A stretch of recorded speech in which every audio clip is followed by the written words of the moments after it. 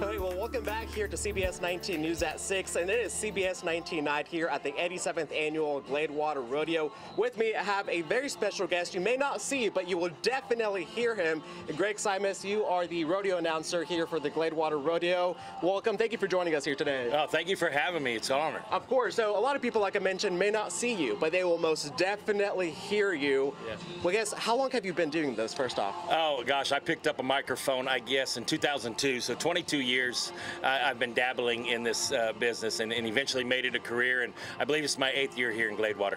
Perfect. And so, I guess here in Gladewater, you know, you've been doing this for almost 10 years. What keeps you coming back to Gladewater? Well, first and foremost, you know, this is my living. So if I have a week off, I have a weekend off, and that's how I pay my bills. But secondly, it's the community, it's the people, it's this area. Uh, I love Texas. I love coming down here. I don't get to come down here enough, uh, but um, eh, the, the people here are different. They've become family. When you're you're in a location for so long, I know I can drop my clothes off with Pete, and, and she'll wash them in the morning. You know, I'm living out of a hotel in a, in a bag. I was in Florida last week. Gladewater, Texas, and I leave for Idaho next week, and, and then I get to go home. But you know, this community, I, I Double M's bringing all the seafood tonight, and their hospitality second to none. But uh, truly, uh, the Moors and and the entire community.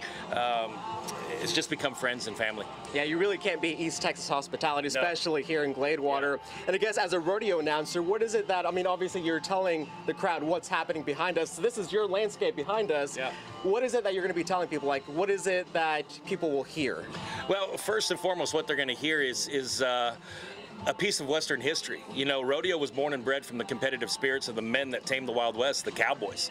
And so there's our, our industry is in in enriched with with Western heritage, yeah. and you're going to hear a lot of that. But what you're going to hear is a description of the events. There's eight different professional events that they'll compete in tonight and tomorrow night, and so within those events, there's rules. I'll go over the rules. Within those events, there's contestants. You know, some contestants are first-year contestants on their permit or a rookie.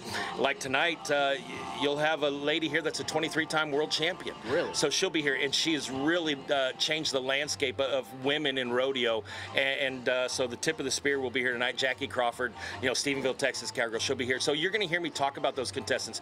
Brody Cress in the saddle bronc riding, seven-time NFR qualifier. He's won Las Vegas three times. Just one of the most decorated guys going. So I'm going to give you a little piece of their information. I'm going to tell you if this kid's an 18-year-old kid in his first rodeo ever, or I'm going to let you know if it's a seasoned veteran or a world champion. So it's, I'm just going to give a little piece of everything and, and kind of tie in my, my humor and a good time because I'm just a fan. There we go. History, fun, all the above. What Yeah. more else could you want? Greg, thank you so much for joining Thank us. you. We You look bet. forward to listening to the rodeo here and seeing it as well as your commentary here. So thank you again. Absolutely. Thank you for having me. Of course. Appreciate. We'll be right back after the break.